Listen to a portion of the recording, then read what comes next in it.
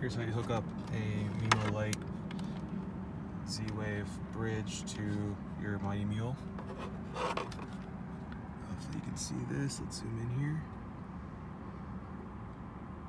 So you can hook up the two wires, one, two. It's a little hard to see, but let's see if I can get this here.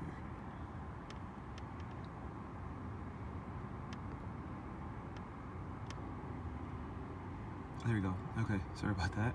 So we have green, um, just make note of it, green on COM, and then uh, red on NC. I think you can use NO as well. Normal close and normal open, I believe is what that stands for. Could be wrong.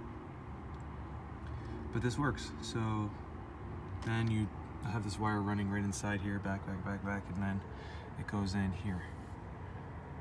So you have a COM and a cycle Green is the COM, which matches the Mimo, and cycle is the red. This is a dual gate opener, but um, this sh should apply to the single gate openers as well, the controllers. And then for reference, this is the receiver for the antenna for the um, push button in the car and with the remote control.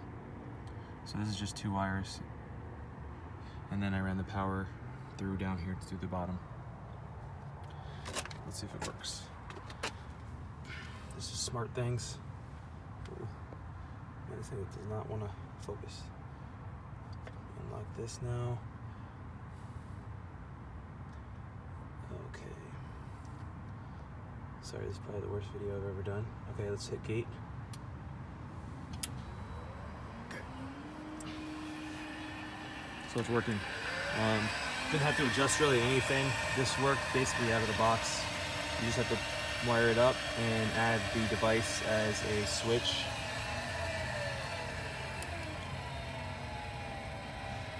Just an open and close switch. So um, I don't know if there are is a custom device within the SmartThings API. One thing to note though is like when this says off and on, so off doesn't really mean anything. Um, let's see if I hit off. Okay.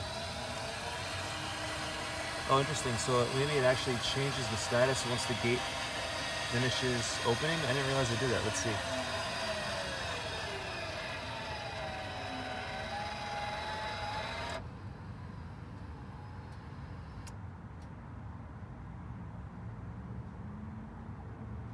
No, I guess it doesn't. I guess it doesn't actually do that. So the status stays on.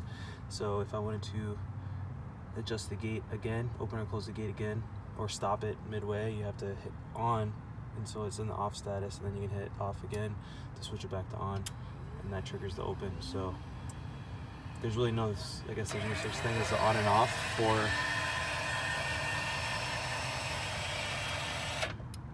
no, yeah, I guess there's no there's no exact on and off for the gate. It's not like it knows when it's open or closed um, without another sensor. So I guess that's similar to what you do with a tilt sensor with a garage door opener. Anyway, sorry this video kind of sucks, but um, at least you can see how to hook this up if you want to connect your Mighty Mule gate to a Z-Wave um, setup with your SmartThings or any other smart um, Z-Wave smart controller.